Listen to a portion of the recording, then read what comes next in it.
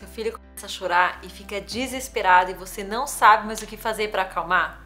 Esse vídeo é para você. Eu vou te dar cinco dicas que eu aprendi, são os famosos 5S aqui dos Estados Unidos, para acalmar o seu bebê rapidinho. Quais desses 5 S's eu usei aqui na minha casa e qual foi a que deu mais certo? Se você chegou agora aqui no meu canal, seja muitíssimo bem-vindo. Meu nome é Marcela e eu sou mãe de primeira viagem da Olivia. Eu, como você, fui atrás da internet para buscar muitas informações quando bateu aquela dúvida, aquele monte de dúvida desse mundo da maternidade. Se você já está inscrito no meu canal, muito obrigada, seja bem-vindo de volta. Eu vou pedir um favor para vocês. Já deixa uma curtida, comenta aqui nesse vídeo. Quanto mais comentários e mais curtidas tiver nos meus vídeos, mais o YouTube vai entender que o meu conteúdo é legal e vai distribuir para outras mamães.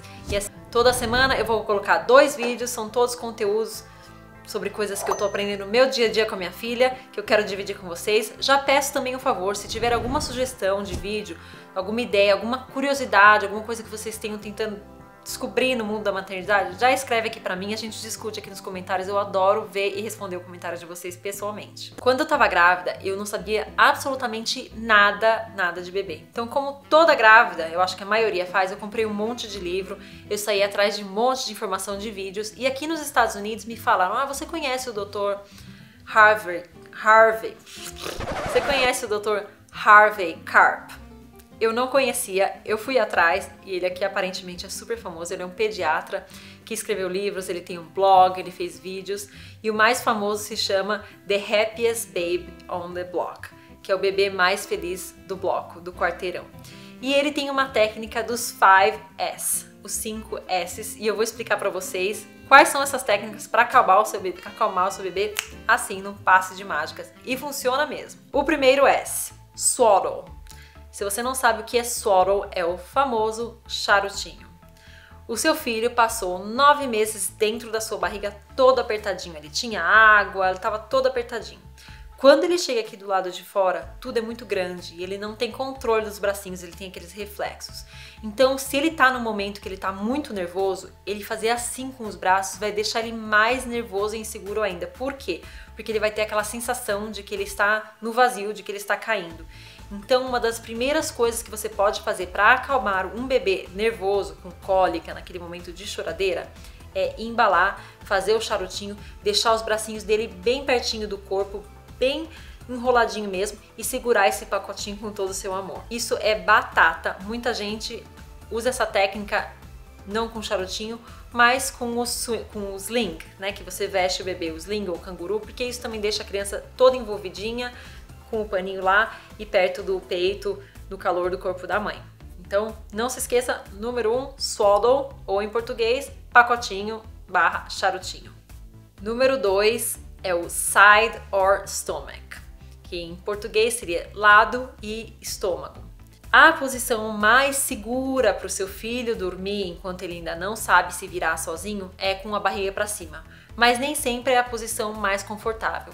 Eles têm muitos incômodos nos primeiros três meses de vida, principalmente com gases, com cólica. E você sabe muito bem que quando você tem cólica, o que você mais quer é colocar a barriga no quentinho, virar de bruço de lado para aliviar essa dor.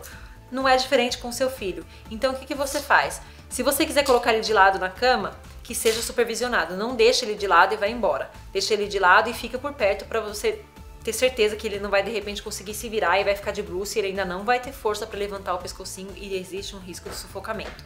Então, ou você coloca ele no seu no, no, seu colo de lado, com a barriguinha, ou você coloca ele na sua perna de bruxo. Eu fazia isso bastante com a Olivia, eu colocava ela com o corpinho, a cabecinha aqui no meu joelho, com a, com a barriguinha para baixo, fazia um carinho nas costas dela. Isso acalmava também rapidinho. Então não esquece dois side or stomach, que é lado ou estômago.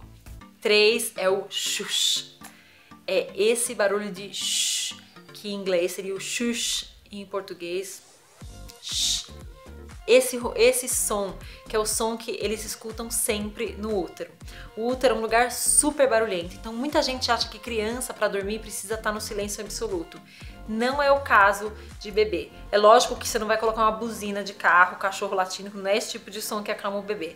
Mas o tipo de som de secador de cabelo, aquela televisão fora do ar, você mesmo fazendo shh, que é o famoso ruído branco. Inclusive eu tenho um vídeo falando a respeito do ruído branco, dos benefícios no sono do bebê e tem muito benefício também na hora de acalmar o bebê. Então, se o seu filho tá muito nervoso, você fez o pacotinho, já colocou ele de bruxo e ele ainda tá incomodado, experimenta colocar ele perto de você e faz bem devagarinho no ouvido dele. Eu garanto, 90% das vezes ele vai acabar pegando no sono. Então tenta e não esquece do shh. 4 é o swing. Swing nada mais é do que o movimento, esse movimento assim. Vamos voltar de novo lá para a barriga. O que ele explica é: o seu filho passou nove meses na sua barriga sempre em movimento, porque quase nenhuma grávida fica deitada durante nove meses. Então ele está acostumado com aquele movimento normal da mãe caminhando.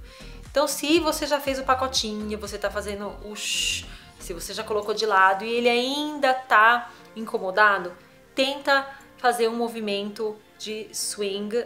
Não vai chacoalhar seu filho, tá? É super perigoso você chacoalhar na hora do nervoso. Mas um, um, um balanço, imagine que você tá caminhando. Imagine, respira fundo e para pra pensar. Ah, quando eu tava caminhando, quando eu tava caminhando mais rápido, era esse tipo de movimento que eu fazia e faz devagarinho com o seu braço.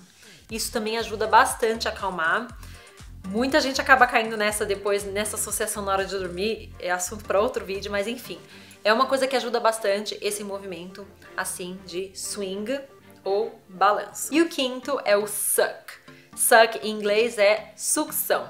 É, é natural do bebê que tudo que é momento de sucção acalma. A maioria deles acalma mamando. Por quê? Porque é um movimento de sucção. É como eles colocam a língua, que eles sentem no céu da boca, isso acalma muito. Então, chupeta, no, no filme e no livro dele, ele cita o uso de chupetas, ele é inclusive bem a favor do uso de chupetas. Existem contradições, eu sei, eu sou a favor do chupeta, a Olivia usou bastante. Muita gente não dá chupeta, mas aí a criança calma só no peito ou na mamadeira, chupando o dedo. A verdade é, esse movimento de sucção sim pode acalmar o seu filho. Então eu deixaria como último dos cinco, que é o que ele também deixa, são os cinco S's. Esse último S é o, é o que você deixa por último. Tenta os outros mais naturais antes. Se não conseguir, coloca uma chupeta, dá um mamar, o dedo, enfim. Deixa ele fazer algum movimento de sucção que com certeza ele vai acalmar. O que, que deu mais certo aqui na minha casa? Como eu já fiz um vídeo falando o ruído branco, e o swing. A Olivia gostava bastante de pegar no sono, ela não era uma criança que pegava no sono mamando, então a sucção sim acalma, sempre acalmou e acalmava ela de criança, mas não era o que fazia ela pegar no sono. Então o que eu usei bastante foi esse balanço com um tapinha no bumbum e eu ficava bastante tempo antes de eu chegar no quarto, onde já tinha a maquininha do ruído branco, fazendo no ouvido dela.